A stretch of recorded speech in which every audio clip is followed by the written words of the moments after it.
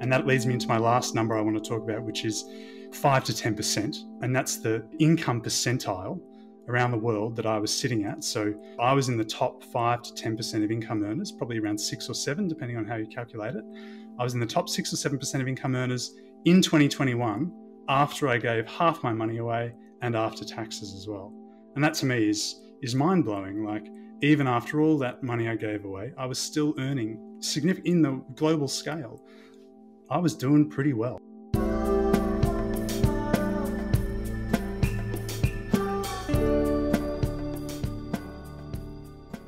Hello, everyone. Hello, the It's Never About Money community. Really excited today to have a bit of a different episode. You'd think, why would Joe decide to get a medical practitioner, a doctor, onto the It's Never About Money podcast? And um, there's a very, very uh, real reason. And we know that I've been on about and been banging on about the fact that uh, we're really looking at the intersection of money and meaning in this particular uh, podcast. And really, when I think of Henry Howard, who is a doctor, a medical officer at Barwon Health, I think about really the fact that he's been able to um, balance career with financial security and community outreach. And those things are very challenging to be able to do. And I really wanted to explore those ideas with Henry.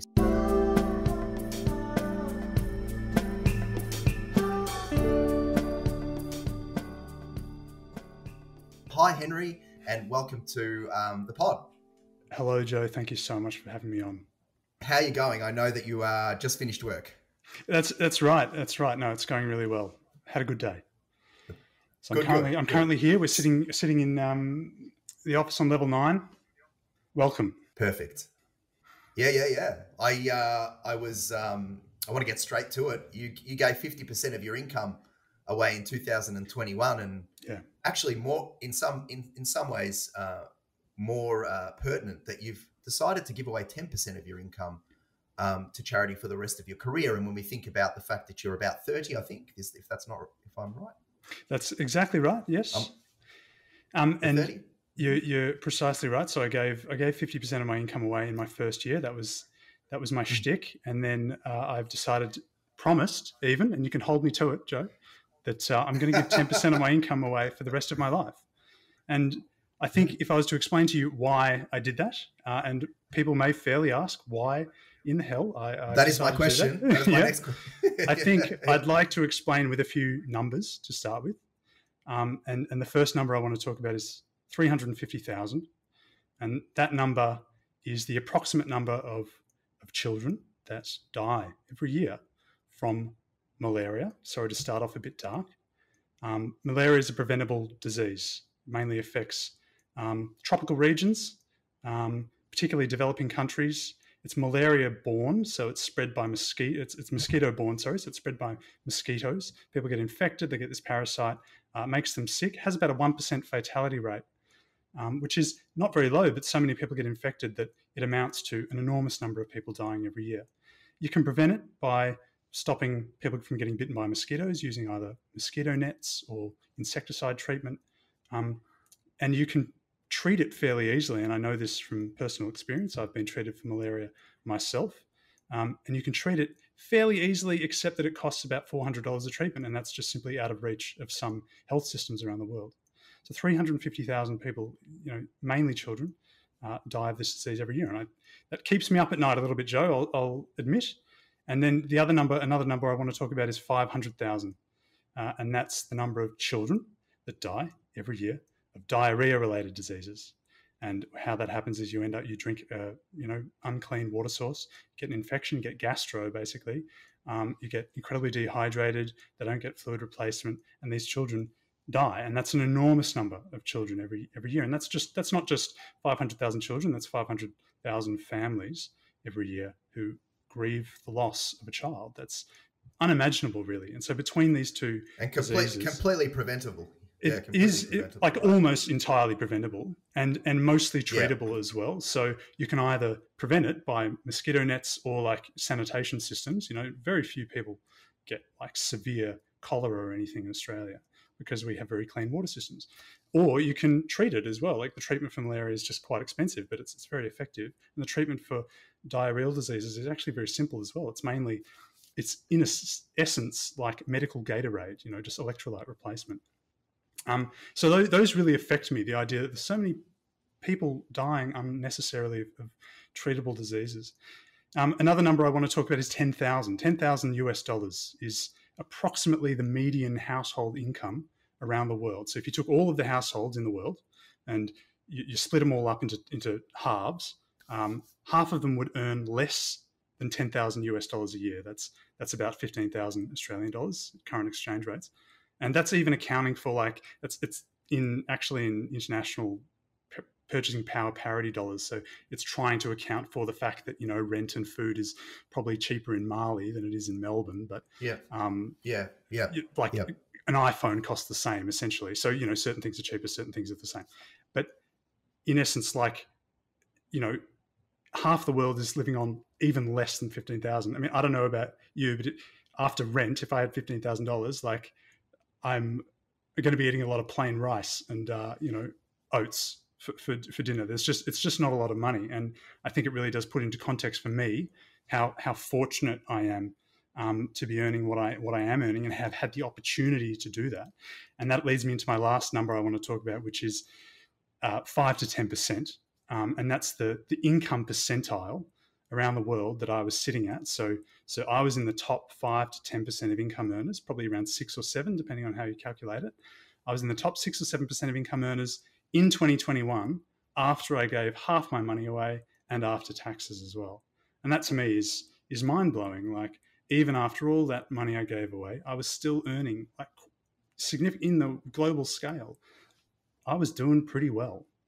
Um, and so I, I, just hope that those numbers, I think, just maybe provide a bit of context for the conversation, and and, and maybe that will make some of the listeners um, understand that I'm not I'm not completely mad. There is a method to the madness, and there's a there's a logic behind it.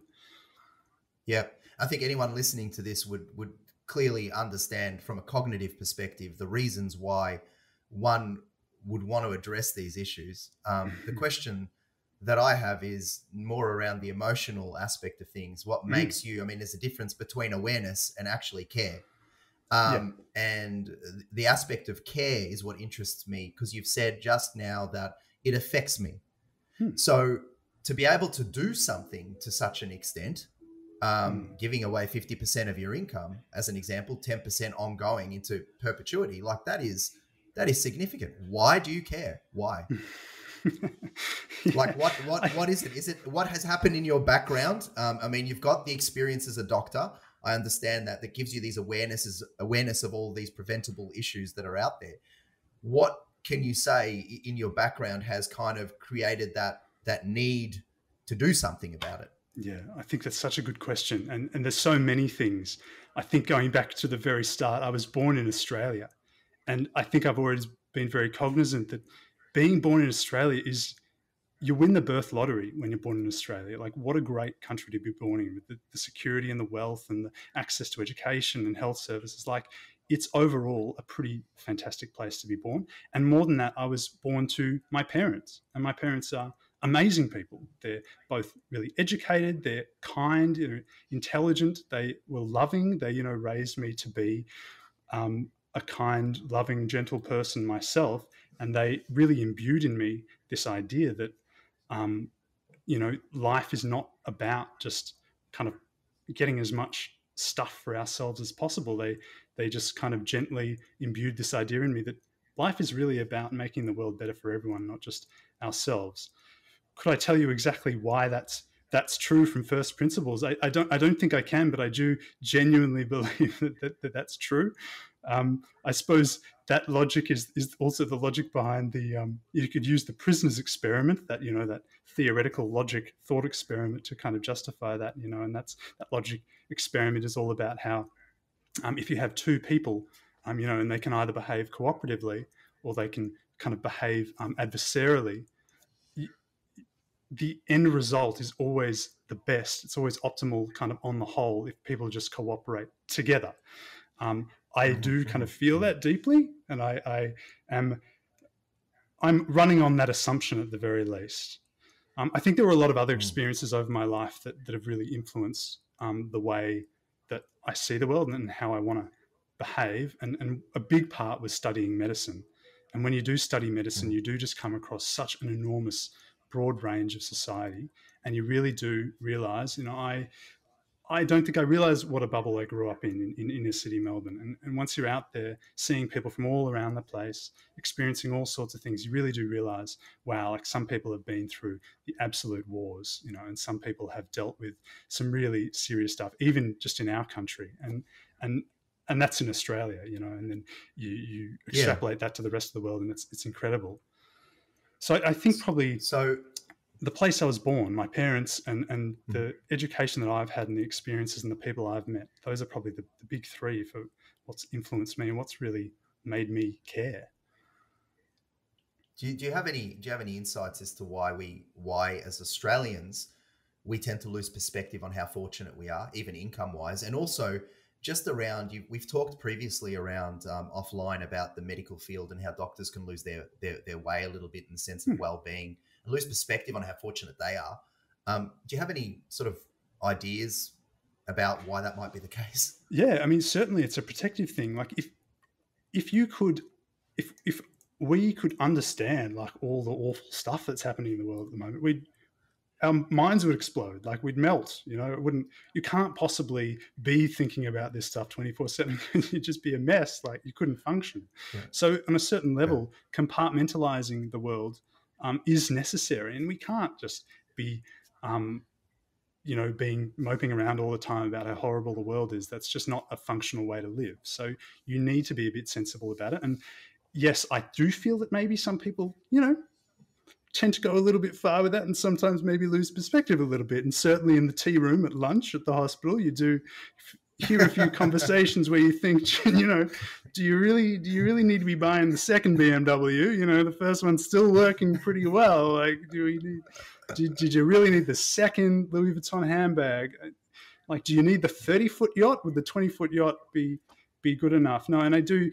You do see a lot of conversations where people are genuinely saying, and they're genuinely getting quite anxious, saying like, "Well, this other specialist, this other doctor is making more money than me." Um, you know, am I doing something wrong? Like, like, am I not billing properly? Am I not working hard enough?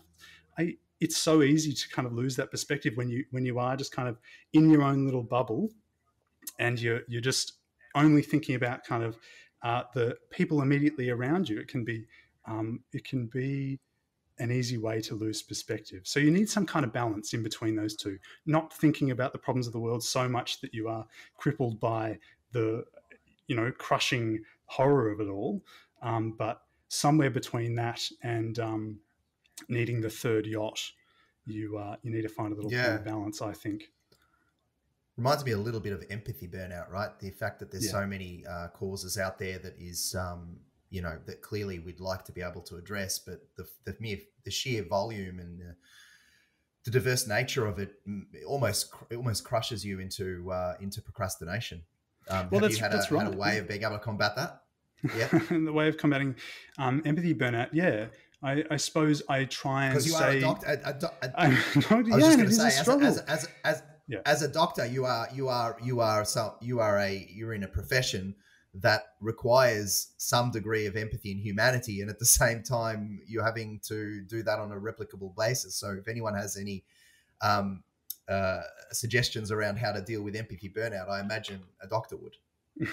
yeah, except doctors struggle with it a lot, and, and it's a, a, daily conversation, the conversation about burnout. And I don't know that we have figured out um, how to solve that problem. And it's something that we talk about a lot, and that there's a lot of services, you know, nowadays that the hospitals offer for for tackling burnout because it is so common. You know, um, seeing people suffering all the time and feeling a kind of responsibility to do something about that can be pretty crippling, and that uh, extends perfectly cleanly to to charity and trying to you know help the problems around the world. Have I found a way to combat it? I'm I'm not sure. I think my way of combating it is giving 50% of my income away and then promising 10% for the rest of my life. Like I take it very seriously, this idea of of trying to do uh, as much as I can to actually make the world better and trying to be really smart and effective about it. And I think that's what my way of kind of combating the um, the crushing pressure of it all because I can kind of take a load off at the end of the day and say, look, I am doing as much as I think I probably reasonably can. Um, I just worked a day, and over the course of that day, ten percent of the money that I just made is going to go to a great cause. And I think that's that's probably my way of maybe that's not the best way to deal with empathy burnout. Is I don't know more empathy or something, but but it, it works for me. What about the choice of a great cause? Um, yeah, and that's that's so one, hard. How does one choose one over the other? Oh, and yeah, I mean, how do you even start with that? And I actually listened to your episode yesterday with um, Jess Bowman and, and um, yeah, and, and Kylie Wallace. It was fantastic. And I think those are two really amazing Thanks. people. And, and, you know, for any of the listeners out there that haven't listened to uh, Joe Stephan's episode with Kylie Wallace and Jess Bowman, I really encourage you. Thanks, thanks, Henry. Thanks, Henry. I needed that. You know, you know, I need that. um, and no, it's great. So, so those two, uh, they're running Seedling, and they're it's a basically a charity analysis service, and um, yeah, they advise people on you know what sort of charities align with them and what works for them. Um, and it's a lot of the core of what they do is trying to analyze which charities are doing really good work with your money instead of, you know, wasting it. Um, and that's that's a real problem. Like trying to figure out which charity to give to is super tricky.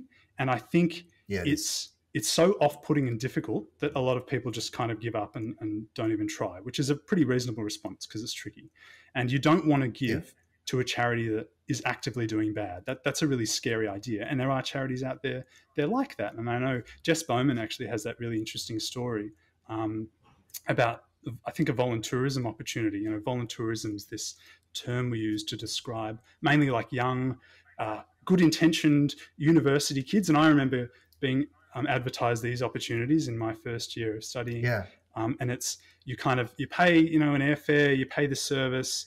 Uh, and and they'll take you to a place in the world where people aren't doing so well, and then you'll do a little bit of kind of pretty tokenistic activity like playing with some um, supposed orphans. Though I think in Jess Bowman's story, maybe they turn out it turns out that things aren't quite what they see that they seem to be. But you, you play with some orphans, or you lay some bricks for a, a local, you know, new school building or something. Um, but at the end of the day, it, it's a little bit kind of a little bit patronizing, maybe um, a little bit paternalistic. Mm-hmm. People are kind of going in without a lot of local knowledge. I think people over there feel a little bit kind of degraded by it. There's a whole lot of problems with it, but at the core, like what is the impact? Really well intentioned. What's the impact? And that's the real question at the end of the day. And is there a better way to do it? Um, and, and in a lot of cases, it would probably be better uh, for um, young enthusiastic university students to instead of actually going over there themselves probably just give the money from that airfare ticket to a local charity in the area, you know, maybe a local workman who can lay the bricks or a local childcare worker who can look after the kids um, for you. There's, and, and, in that way, you're kind of empowering the local community. So often, actually, like looking for charities that are on the ground that are doing really effective work instead of just going and doing it yourself is, is a great, great thing to do. Um, I, I think yeah. I'd like to shout out probably a few of the services that I use to try and find effective charities. And a huge one for me sure. is is the Life You Can Save. And the Life You Can Save is it's an organization, but it's also a book. And it was written by Peter Singer. And Peter Singer is an Australian philosopher. And he talks a lot mm-hmm. about effective giving and, and the opportunities that we have as people living in probably the wealthier parts of the world, the often underestimated power we have to make positive change in the world by just giving up um, small amounts of money that maybe we don't necessarily need. Um, and he set up this organization called The Life You Can Save, and they recommend all these charities um, all around the world, mostly in developing countries, because often that's where the real opportunities are for, for change for not a lot of money. And um, they recommend all sorts of great organizations. The Fred Hollows Foundation is one. They they do cataract surgery. You know, they give people their sight back for like twenty five dollars. Yeah, is often is like incredible. their average. It's it's amazing. Mm. They um, they support mm. the Against Malaria Foundation, uh, which distributes bed nets. I was kind of talking about bed nets before as a as a good way to prevent the terrible disease that is malaria. Um, they yep. support all sorts of fantastic organizations. The Malaria Consortium does chemo prophylaxis. They give people medications so they don't get malaria. There's the Helen Keller International Organization. They treat vitamin A deficiency. I really recommend anyone go and look up uh, the life you can save just to even get a sense of kind of what charities are out there because they're really it's really exciting actually i think the kind of stuff you can do and and in, when it comes to changing someone's life, like really transforming someone's life, or even saving someone's life, uh, you know, you're talking about a matter of a few hundred or a few thousand dollars, and that is, I mean, it's astounding, really, to think that you can have it that is. kind of impact for that amount of money. Um, and I, I, I just think about that all the time. for sure, for sure. So, so so, I mean, on the on the kind of track that we were you you know promoting uh, one of the other episodes, I actually was thinking mm. about um, uh, careers and and you know two people that I've spoken to, Christine Core, which is in another episode, and also mm. Dan Cumberland from the Meaning Movement. They talk about trying to if if a career is not um, not providing you a direct line to meaning, to change mm. the way you frame to frame it you know mm. um, when it when it comes to um, some occupations uh, dan cumberland was talking about the fact that sometimes meaning is really difficult to find now in in being a doctor you've got a direct line to meaning. You've got patients they they have an illness you help them with their illness it's an amazing job. You could forgive i could forgive you for thinking well job well done there's no need for any additional meaning. But you've actually gone further than that and, and starting to contribute in the way you are with your income. So the question that I really have is: Do you think that being doing what you're doing could really assist um, uh, that sort of formula, that sort of strategy, could be used for others who are probably struggling with meaning in in, in the work that they do? Yeah, ab- absolutely, and I think that's what's really nice about the idea of earning to give is often what it's called. This idea of just kind of doing a job, doing a normal job, doesn't have to be saving people's lives every day, but then just giving a portion of that income to great causes. And it's it's such a universal idea. You can apply it to any possible career. You know, you don't have to be out there in the field doing the cataract surgery yourself. You can be at home doing anything. You can be a you can be a financial planner. You can be a, a doctor. You can be a lawyer. You can be a, a teacher, and, and anyone can be making incredible change, or those all of those people are, are often making incredible changes themselves. Um, and I, it's it's so kind of extensible and, and, universal and applicable. I just think it's it's a really nice idea that maybe is a little bit undervalued um, and I say that in well aware that the idea of giving 10% of your income to charity is not new. I didn't invent it. You know, it's called a tithing and it's existed for thousands of years. Well aware of that. well aware of that. Um, and, and various cultures around the world have a, have a culture of giving as well. I know there's, there's one in Islam. There's a, a principle of Islam is zakat, which is giving 2.5% of your, your wealth, I believe, actually, um, to charity every every year. It's like a self-imposed wealth tax. It's pretty interesting. Um, so the idea of giving a portion of your income to charities are pretty pretty long-standing, but I think it's a winner, and I think it's um, something we should all kind of try and bring into the modern day and think about bringing into the modern day.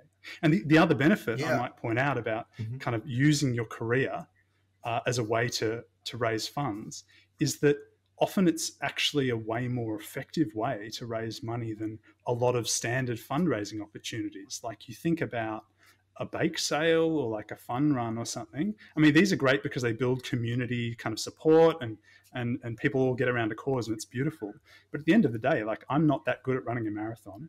My baking's okay, but you know, it's not going to like win any prizes at the show. So probably my best way of making money. I think I, the the most money I could make in a day is by working here, and then giving that money to charity. And that's quite a cold. I think some people might see that as a bit of a cold, kind of calculating attitude. But at the end of the day, I I, I do want to make positive change, and I'm I if I think if you're really interested in making um, like maximizing fundraising, I think seriously consider the idea of, of giving a portion of your income to charity. Well, I think it's a piece in the puzzle, right? You know, when people, you think about people doing, undertaking jobs that they really perhaps even dislike, but they do it for their family as a matter of meaning. Um, mm. And then you have these other potential um, factors can be added to add to the meaning pot. This is really, really helpful where people feel maybe they've been institutionalized. They're good at what they do in their job. They don't love it. I mean, they could change it, but if they're not going to change it, they could change the framing of why they do it.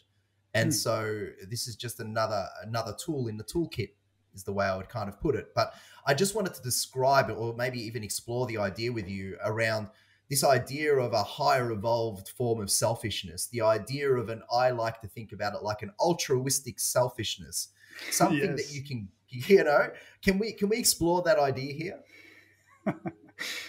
I I've always thought, you know, the term altruism, to me, I I don't know that I can use that to describe myself because I I do this because I love it and I, I give I give my money away because I don't know that I can be happy without doing it. And I suppose in a form, in a way, that's a form of selfishness. Yes, like can you ever do something without it having some kind of benefit to you? Probably, probably not. Um, I would like to think that doesn't undermine why I do it.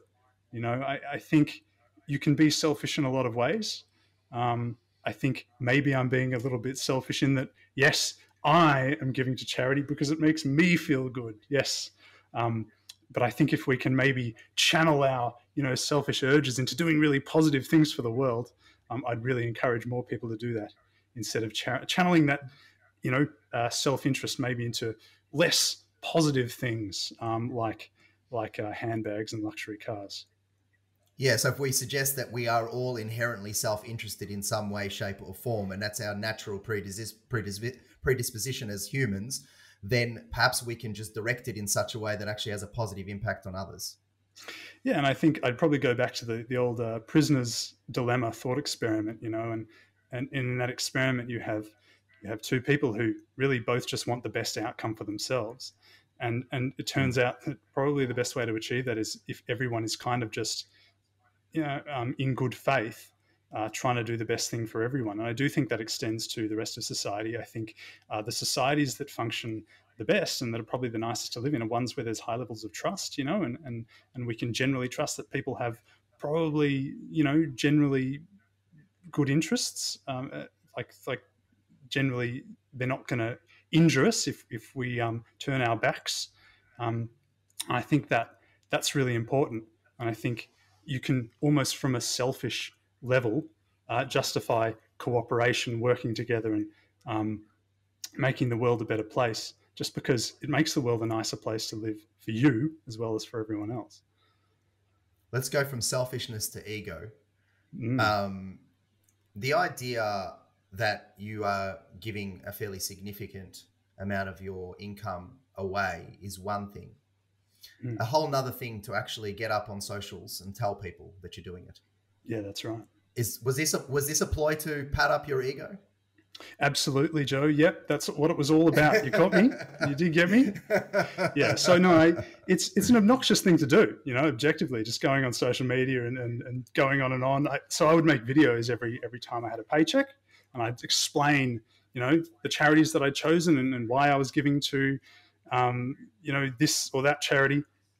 Um, and the reason I did that was was because I want to normalize the idea of giving. I think a big part of the reason that more people don't give is that it's just sometimes not something that we think about. It's easy to kind of um, forget that there's a lot of people in the world in a lot of need, and it's also easy to forget that um, there are great charities out there that we could support. That not all charities are a bunk and a waste of time. There are great ones out there that we could support. So I kind of just wanted to remind people. I, I desperately wanted to remind people that you know this is an option. Like giving away large amounts of your money is like is actually feasible. You can do it. So mm. don't like mm. at least come up with a reason in your minds as to as to why why not to do it instead of not thinking about it at all. But yes, no, it's a, it's a um, it looks bad, I suppose. Like like advertising yourself on social media it's really it is hard and it's i struggled with that because i didn't want people to think i was just trying to you know buff up my resume or make people think i was a really good boy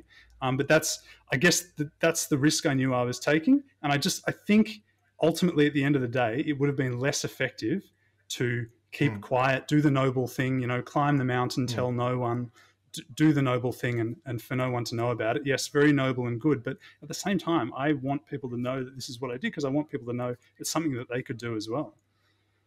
Well, there's an enjoyment in, in, in knowing that you're giving without others knowing. So the fact that, that you true. are doing it, the fact that you are doing it, those that think about giving and, and do it, you know, reasonably regularly know that there's an integrity in not actually suggesting and just doing the good deed and in sitting in bathing in your glory, right? Mm. But what what is harder and the cost? There's a cost in in in in telling others, and the cost is that you know that they could be perceiving it as an ego play when you know that you're doing it for the impact, for the fact that you could change some social expect uh, social norms, um, and, and, that's what you're trying to do, right? So mm. I actually think, in in a way, it's it's a very very selfless situation because if it was purely self motivated, you would do your thing, and you would sit there and think to yourself, "How good is this?" I, that's an interesting way to swing it. I don't know that I'm gonna. I'm not going to get on social media and try and argue that too too hard. I think I I'll, think I'll maybe part you. of it part of it is that I have to believe. I think that it is a little bit obnoxious getting on social media because if I didn't believe that, I think it, it probably would be it probably would be a problem. But yeah, no, I think I think you're right. I think there's if just from a purely impact perspective, it's important to advertise what you're doing, and I encourage people to to when they give when they're doing giving, like yeah, be loud about it, talk about it. It's not about making people feel bad. It's not about making people feel guilty. It's not about making you feel good. It's about let's just like normalize a culture of giving stuff we don't need, of of living simply, giving effectively. I think that's what it should all be about. Yeah. So so coming back to the equation of all the things that I list about meaning, you know, family, relationships, um, mm. basic survival needs on the one on the one ledger and then money on the other ledger.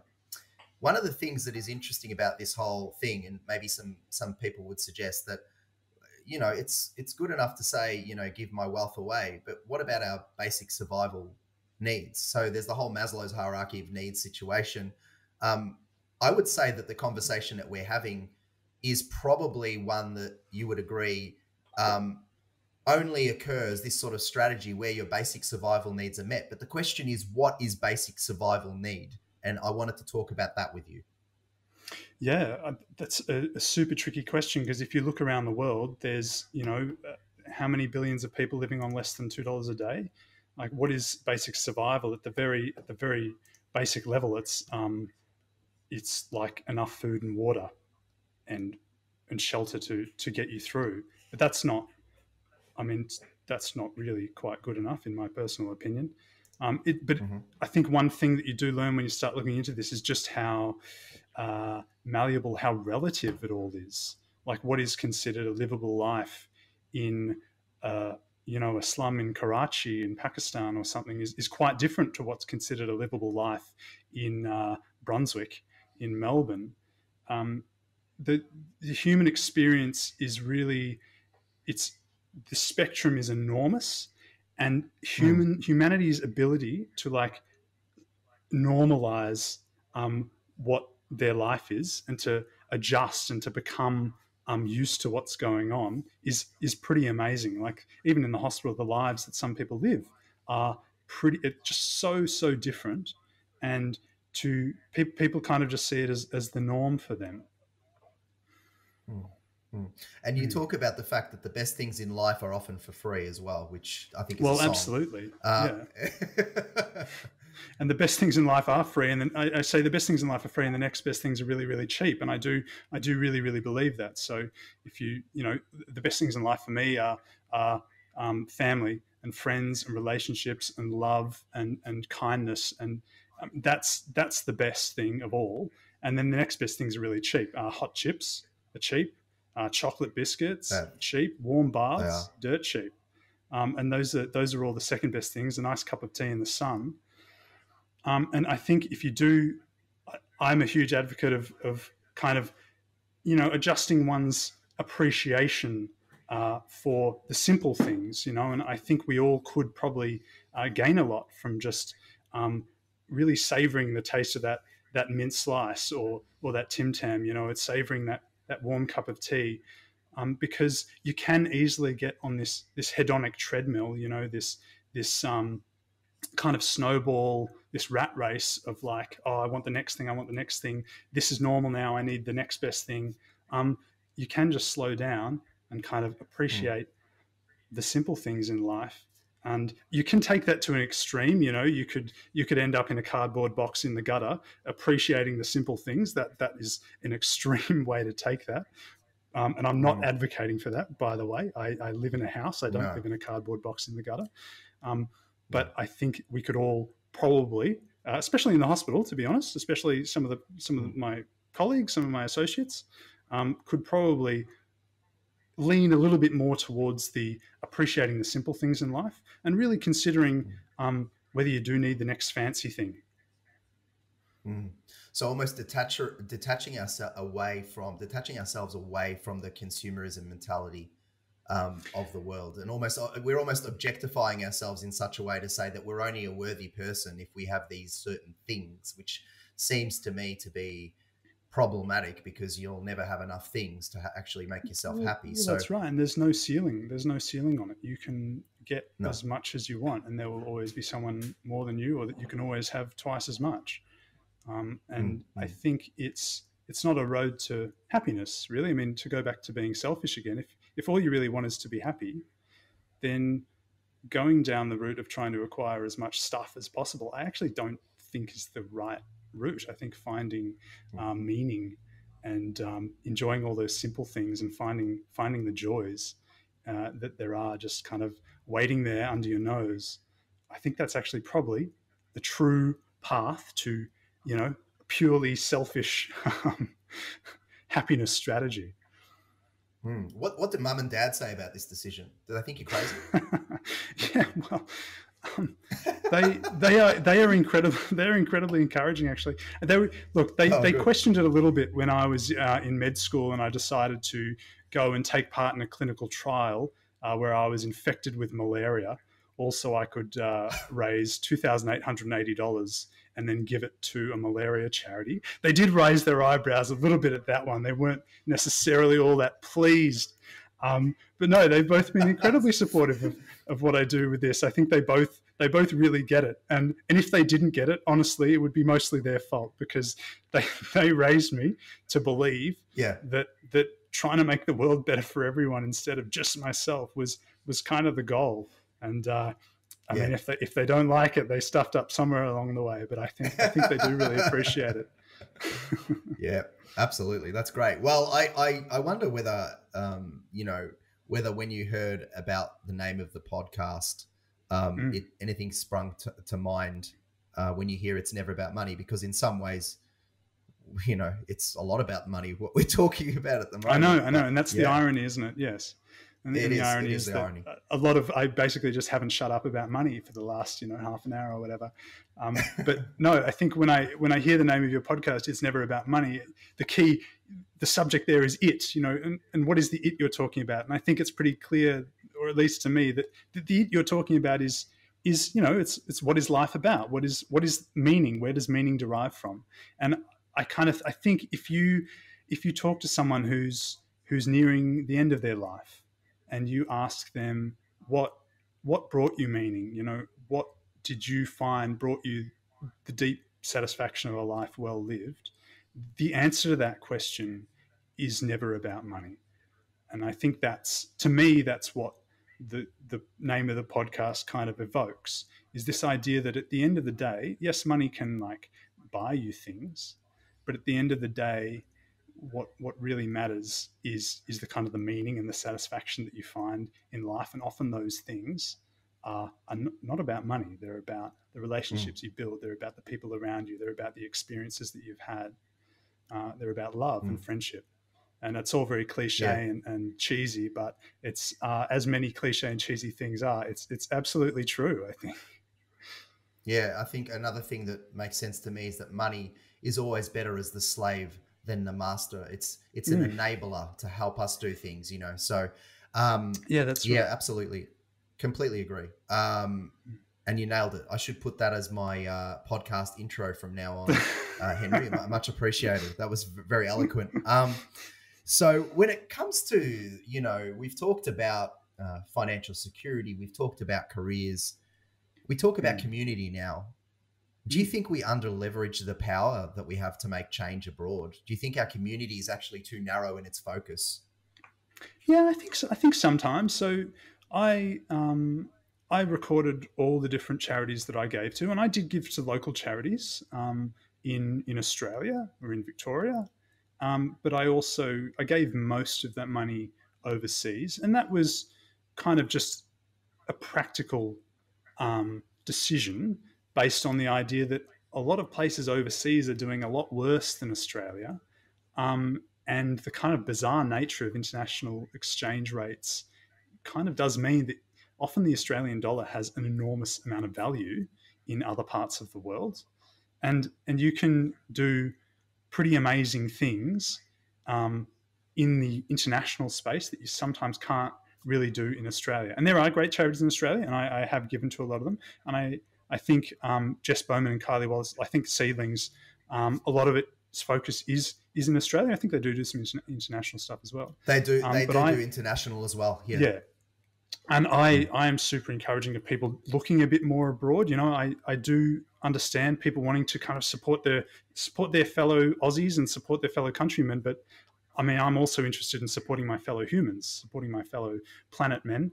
And um, I think there are enormous opportunities overseas. It can be a bit hairy, you know, like interfering with other countries. That there's, you know, questions that are raised about that. But I think at the end of the day, um, no one wants to be dying of malaria. No one wants their child to be dying of preventable diarrheal disease.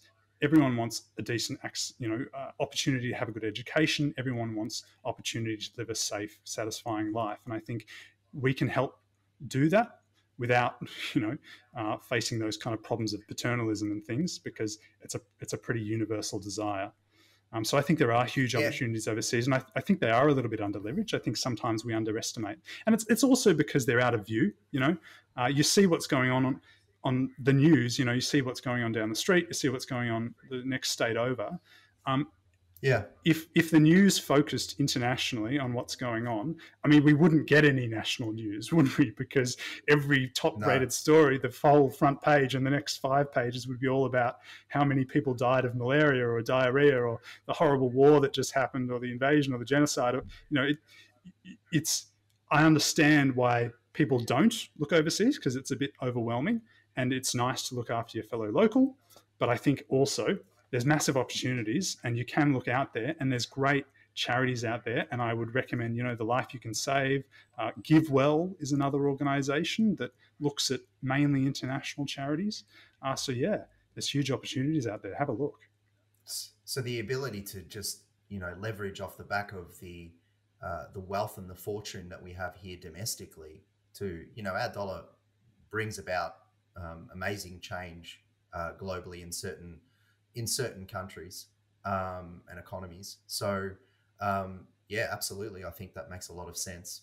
Um, so, we've talked a lot about um, community, careers, financial security.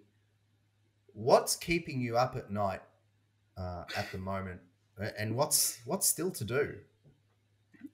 Um, I was up pretty late the other night, um, looking at what was going on in, in Turkey and Syria after the um, most recent earthquake. I mm.